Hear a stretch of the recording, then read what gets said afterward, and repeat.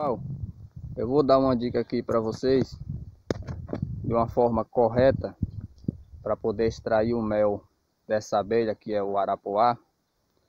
É, de uma forma que você não agride é, diretamente a abelha é, porque tem pessoas que tira com fogo ou então com fumaça que é o modo tradicional que o pessoal sempre é, retira né mas tem uma outra forma que a gente aqui retira o mel do arapuá sem precisar é, utilizar fogo e nem fumaça. É, vou dar um bom exemplo aqui dessa aqui, ó. Eu não vou mostrar na prática, mas eu vou dar um bom exemplo dessa aqui, onde a gente extraiu o mel dela. É, e como vocês podem ver aqui, ó, ela se recompôs e reconstruiu o ninho, ou seja, sua casa, né? E está bem estabelecida aqui. Olha só.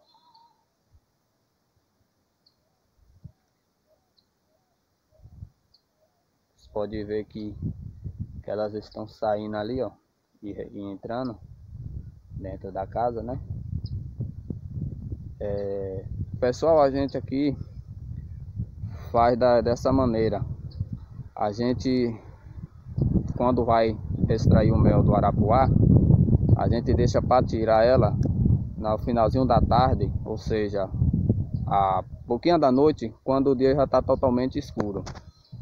Sendo assim, elas, a gente retira ela e ela não vai é, nos enxergar, ou seja, ou seja, é, também tem que ser contra o vento, modo ela sentir o cheiro pelo olfato dela, né? E assim ela não vai nos ganhar, porque ela não contém ferrão, mas também ela quando ganha a pessoa, se linha no cabelo ou na roupa e fica dificultoso para poder retirar ela. Se você não tirar com certo cuidado, acaba matando a abelha. É, no outro dia, pela manhã, logo cedo, a gente pega, abre o local onde a gente sabe que o mel tá, para poder não degradar tanto o ninho dela, ou seja, a casa, né? E pega um borrifador e enche de água e vai molhando, vai molhando, barrufando a casa, o ninho dela todinha. Vai abrindo e vai barrufando. Assim é o arapuá vai ficar pesado, molhado, né? E não vai voar e não vai te ganhar. Dessa forma você não vai precisar estar tá utilizando nem a fumaça e nem o fogo, porque se você usar o fogo, é, você vai acabar matando praticamente toda a colmeia, né? E dessa forma com água, galera, tem como você preservar a boa parte do ninho, né? É, um bom exemplo é essa aqui, ó, onde foi extraído o mel dela, a gente colocou nesse pé da garoba aqui, ó, é, como não matou a rainha, que é do, do ninho, né? E não matou a, abelha, elas se reconstruíram. Olha só como ela se adaptaram bem aqui, ó. É só coisa linda.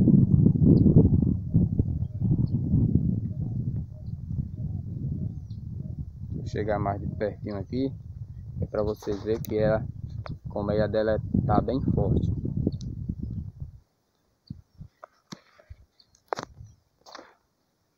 Todo momento elas estão saindo e volta novamente, olha só.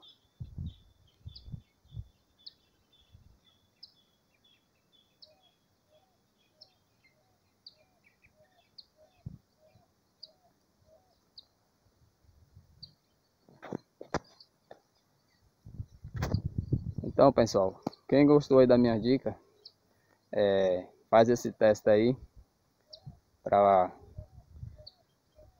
então, pessoal, quem gostou da minha dica, é, compartilhe o vídeo aí.